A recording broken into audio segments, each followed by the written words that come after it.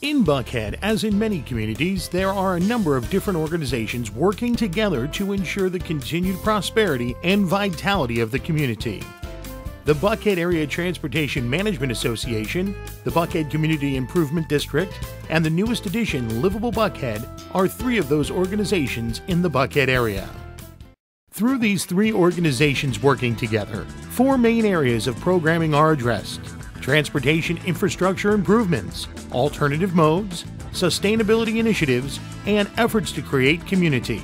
These elements work together to improve the quality of life in the community and result in economic development. Green space is one of the key topics mentioned when talking about sustainability and quality of life. However, it is not one of the strengths of the community. A few years back, the City of Atlanta undertook a parks planning project known as Project Green Space. This plan identified Atlanta City Council District 7, Howard Shook's District, which encompasses about half of Buckhead as having fewer parks per capita than every other district in the city. 2.14 acres per thousand residents is nowhere near acceptable standards, which typically range from 12 to 15 acres per thousand. Howard Shook decided that this was not acceptable for his district and challenged the Buckhead Area Transportation Management Association and Community Improvement District with solving the problem. BATMA and the Buckhead CID stepped up to the challenge issued by Councilman Shook and over the course of 18 months worked with a comprehensive steering committee to develop a plan to fix the green space problem. This committee represented 24 different community perspectives, including commercial property owners, residents, hoteliers, private schools, and churches. This plan became known as the Buckhead Collection. Using a needs based approach, the Buckhead Collection identified the type, amount, and area of green space needed. The total acreage of need identified in the plan is approximately 107 acres. No small task. The plan also identified the need for an implementing entity to take responsibility for making sure this plan resulted in tangible results. This need gave birth to Livable Buckhead Incorporated. The Buckhead Collection Plan identified multi use trails as one of the top priorities for the community. Before the plan was even completed, the Georgia 400 Trail was identified as a potential trail opportunity. Its location along the spine of the district provided connections to many future parks and provided linkages that would also help create a coherent network of green space in the community. In addition, the majority of the land was already in public ownership, which made for a compelling cost effectiveness case given the absorbent land prices in Buckhead. A feasibility study was conducted to make sure the trail was indeed doable, and once its viability was confirmed, it became not only a part of the Buckhead Collection plan, but the top priority for implementation as well. Some of the key features of the trail project are highlighted here. Yet another compelling feature of the Georgia 400 Trail is its proximity to the community and potential trail users. The pink areas represent residents within a five minute walk of the trail. The green areas are a 10 minute walk.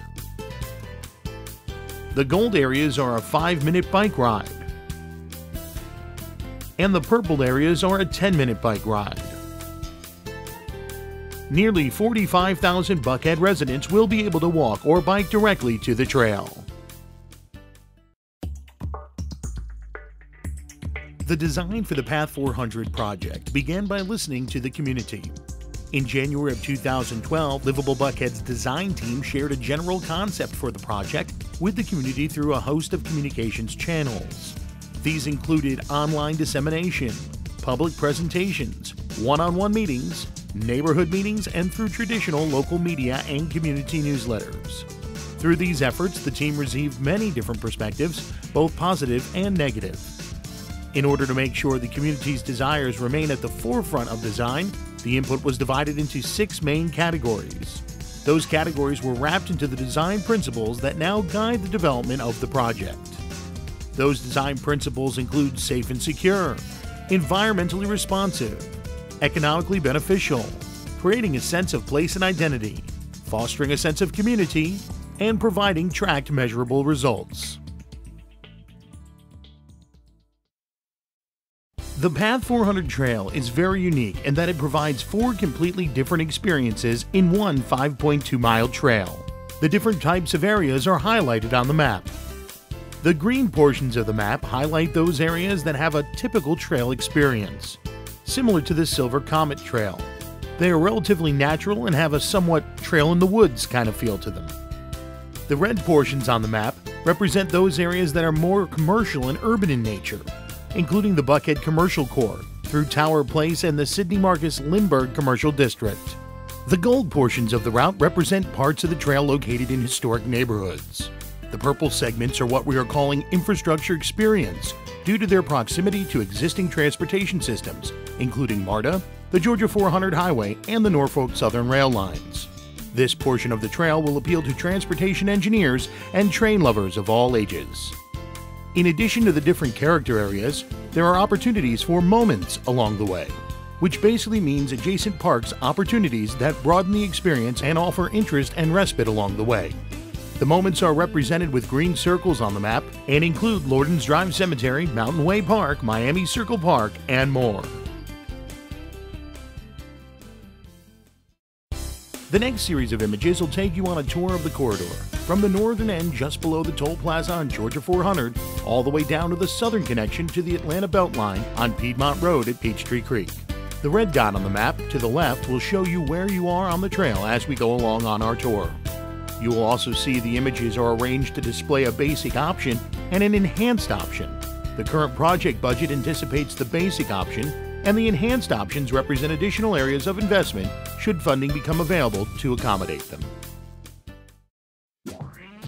The trail experience begins on Loridans Drive, situated just below the toll plaza on the Georgia 400 roadway, and adjacent to one of the oldest family cemeteries in the city of Atlanta.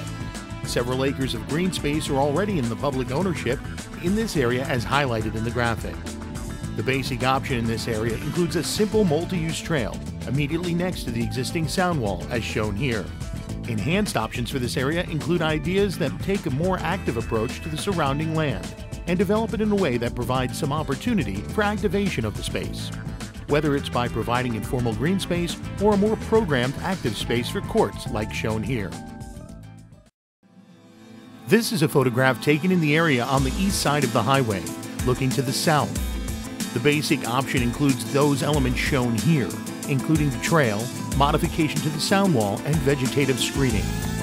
The panels proposed for use in the sound wall are an acrylic material that has better sound blocking characteristics than the existing metal panels. This will help dress up the sound wall, as well as open up the corridor by providing windows that allow light and color into the area. These panels will also be visible to motorists traveling on Georgia 400, which will be tied into a project currently under development by the Community Improvement District, which creates a gateway to the community at the exit ramps onto Lenox Road, better known as the Buckhead Loop. The enhanced option anticipates additional landscaping that adds color and variety and could be undertaken by local garden clubs. This section of the trail has a handful of homes with relatively small yards situated close to the public right of way. In these situations, we are working directly with each individual homeowner to develop solutions that work for them. In this case, the homeowner wanted to maintain privacy and prevent access to their yard from the trail, so we proposed a series of options to help achieve these goals. One of the key things to note in the image is the impacts to the trees have been taken into consideration, and the proposed landscape buffer provides year round screening as opposed to the seasonal vegetation currently in place. In this section of the trail, the Georgia 400 highway is 80 to 100 feet off the ground. This provides a fantastic opportunity for a unique green space underneath adjacent to Little Nancy Creek, but also offers a design challenge, as the trail must provide access to the ground level while continuing south up at the road elevation on the west side. To achieve this, an iconic bridge is anticipated, the specific design of the bridge has not been selected and will be coordinated with local efforts underway to develop this park space. However, this image gives you an idea of where the designers are headed. The trail will cross from the west side of Georgia 400 to the east side via the Wieuca Road Bridge. The bridge is already wide enough to accommodate bike lanes and sidewalks. Modifications will include raising the bike lane to create a one-way multi-use path on each side of the roadway. This will enhance safety for trail users while also encouraging automobile traffic to slow down due to the perceived narrower roadway. A pedestrian activated stop signal will be placed on the east side of Georgia 400 to facilitate trail users crossing the roadway. The enhanced option includes modifications to the existing fence. Options shown here incorporate similar types of elements to those used at the sound wall. This creates a unified aesthetic, not only creating the identity of the trail, but also for the gateway entrance to Lenox Road. This image shows the trail just below Wieuca Road, looking south toward the business district. The enhanced option incorporates a more diverse plant palette, incorporating some locally appropriate color. Old Ivy Road is currently a relatively hostile environment for pedestrians. It is dark, visibility is poor, and it feels unsafe. The basic option in this area includes simple definition of the trail and separation from the roadway, together with upgraded lighting. Enhanced options include landscaping the outer edges and doing some sort of artistic or recreational treatment to the sloped pavement under the bridge.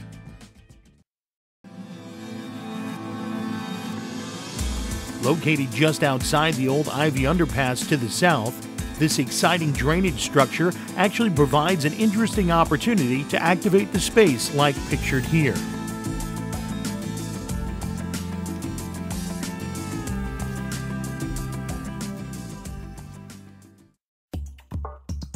Lenox Road, better known as the Buckhead Loop, is currently designed mainly for cars.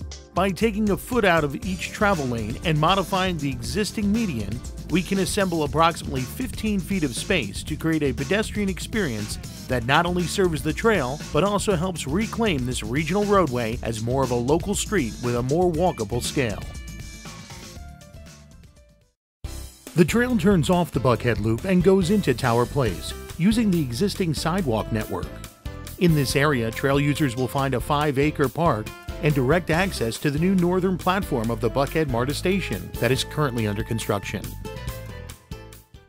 In Tower Place, only minor modifications will be made to facilitate movement and mark the trail as you see here.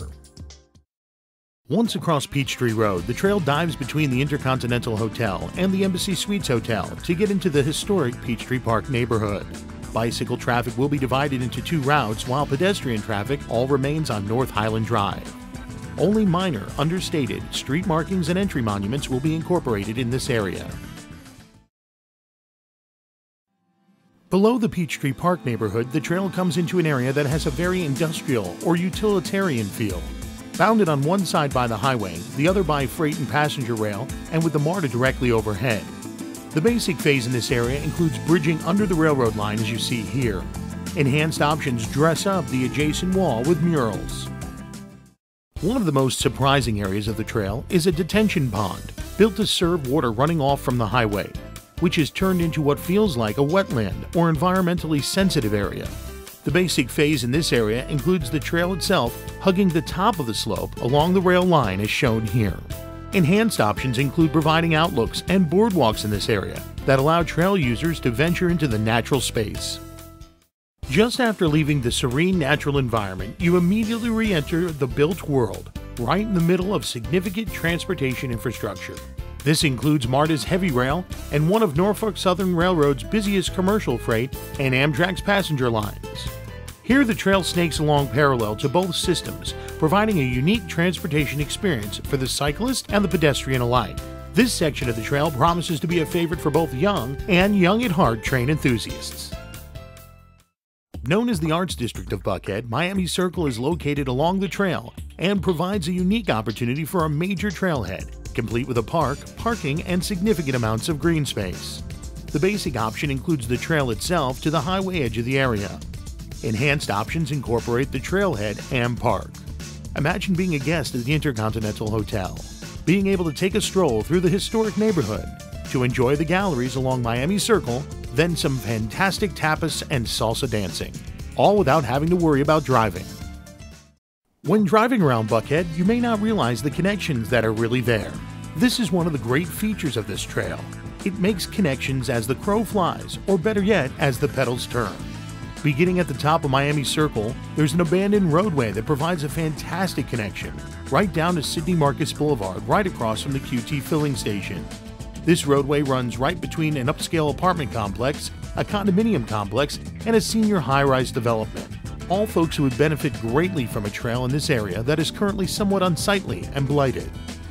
With the addition of community gardens, exercise equipment, and the trail, this area, once an eyesore, becomes a haven for activity. Running between the senior living high rise and condominium access, the trail will activate the space while having minimal impact to the natural feel and existing amenities already on site. The trail will enter a more commercialized segment of the community along Sidney Marcus Boulevard. Located on the north side of the roadway, the trail will enhance the existing pedestrian facilities by adding a landscaped buffer area between trail users and automobiles, widening the sidewalk to a full 12 foot trail section and also incorporating bioswales and natural landscaping. You probably have seen the construction for the new highway ramps that will make the connection between Georgia 400 southbound and Interstate 85 northbound. This new connection is expected to significantly relieve the automobile traffic pressure on Sidney Marcus and will result in a more pedestrian friendly area. The trail project will take that one step further by redesigning the intersection to make it safer for pedestrians. Enhancements will include tightening up the crossing distances, creating pedestrian refuge islands, and enhancing signage to facilitate crossings. From Sidney Marcus, the trail runs behind the Dump Furniture Store and the post office. Just south of these two locations, Morosgo Drive dead ends into Georgia 400. This area will be turned into a significant point of access to the trail. This area of Buckhead is zoned for residential development and will be a future base of many trail users, so a connection here is critical. The proposed access point will include connections to the local sidewalk network, parking, signage, and landscape trail access. The southern end of the trail is located in a highly developed, heavily residential area of the community. The trail will expand the width of the existing pedestrian network and provide connections directly to the landscape buffer area along the north side of Peachtree Creek. Trail users will be able to connect directly to the Atlanta Beltline and to the series of nature trails that have been developed by South Fork Conservancy. These connections are critical in that they make the Georgia 400 Trail part of the regional network of trails that serve the city of Atlanta and metro area. Design for the 5.2 mile trail is well underway and has been done so working very closely with the local community. Through a comprehensive outreach strategy, area residents, workers, and commercial property owners have had the opportunity to view trail plans, provide their thoughts, and have seen their ideas incorporated into the design. Design is expected to be completed in May of 2013, and the acquisition of any necessary easements will begin during the same time period. The general thinking is the project will be built in as many as five to seven separate segments, with the first going to construction in 2014. While it is difficult to project the final completion of construction activities, the general goal is to have the project completed within three to five years. Thank you for taking this tour with us. We hope you're as excited about the transformation as we are. If you would like to receive regular updates on this project and more activities underway through Livable Buckhead, please register to receive our monthly newsletter. If you would like to support the project, your donations are tax deductible and certainly welcome.